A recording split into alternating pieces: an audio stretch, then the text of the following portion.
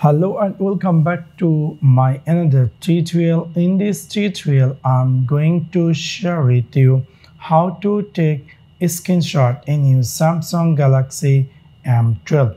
So let's take a look how to do that.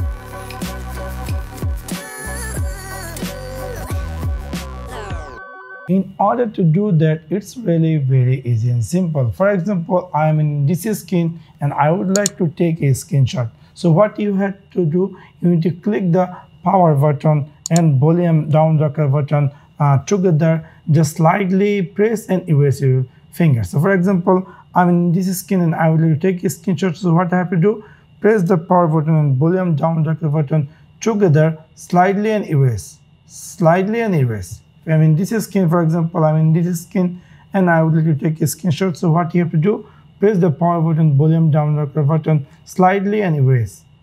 Uh, again, for example, I'm in here and I want to take a screenshot. So what I have to do, press the power button, volume down rocker button slightly and erase. So this is how you can easily take a screenshot. If I go in my phone gallery and then if I go here album, I'm to see in my skin there is a screenshot folder and just now I take the screenshot.